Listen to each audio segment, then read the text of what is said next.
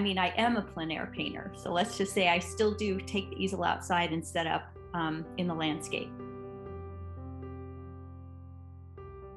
I leave figurative elements or landscape references or structural references in all the paintings because at some point they were all something else. once you make one change, it changes all paintings. Nothing is precious.